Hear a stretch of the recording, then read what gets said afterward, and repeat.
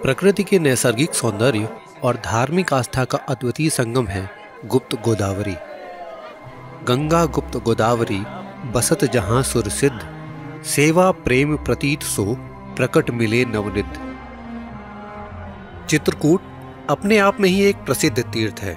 त्रेता युग में अपने चौदह वर्षों के वनवास के समय भगवान श्री राम जी अपनी पत्नी एवं भाई समेत चित्रकूट के इन जंगलों में आए थे। उत्तर प्रदेश व मध्य प्रदेश की सीमा में स्थित चित्रकूट अनेक धार्मिक तीर्थ स्थलों से भरा हुआ है। नमस्कार दोस्तों, स्वागत है आपका द बंजारा मैन में और आज हम देखेंगे गुप्त गोदावरी की यात्रा।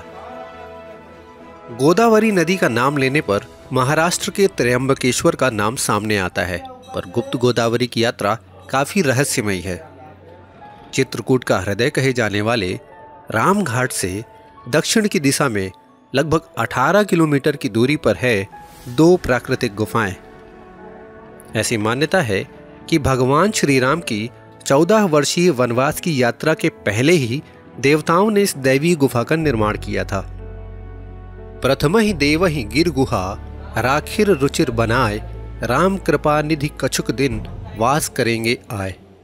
यात्रा मार्ग के दोनों तरफ़ सजी हुई फूलों की, मालाओं की एवं प्रसाद की दुकानों से प्रसाद लेने के बाद यात्री प्रशासन द्वारा निर्धारित टिकट को खरीदकर निर्धारित रास्ते से ऊपर चढ़ते हुए प्रथम प्रवेश द्वार के बाहर पहुँचते हैं यहाँ की गुफा का रास्ता बहुत ही ज़्यादा सकरा है।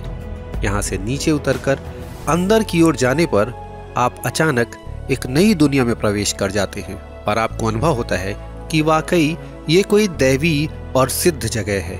लोगों की ऐसी मान्यता है कि ये गुफाएँ लगभग साढ़े नौ लाख वर्ष पुरानी है।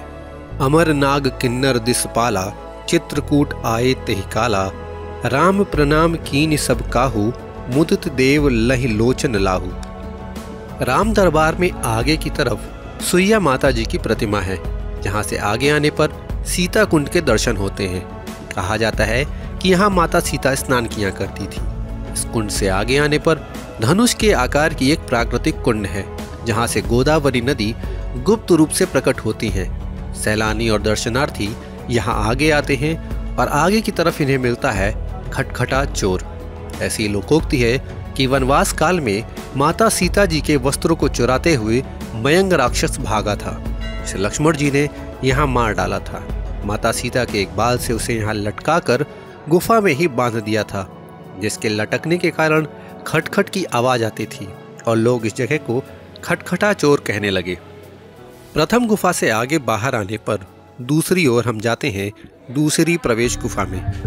कथा कहती है कि श्री राम जी के चित्रकूट आगमन की जानकारी पाकर महर्षि गौतम की पुत्री गोदावरी जी नासिक से गुप्त रूप में भूमिगत मार्ग से होते हुए यहाँ आके प्रकट हुई थी। इस कारण इस गुफा को गुप्त गोदावरी नाम मिला था।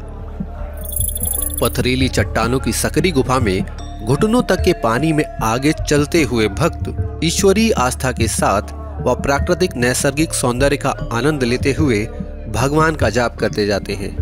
गुफा से बहती हुई साफ़ स्वच्छ पानी की धारा आपको त्रेता युग के समय की घटनाक्रमों का प्रत्यक्ष साक्षी बना देती है।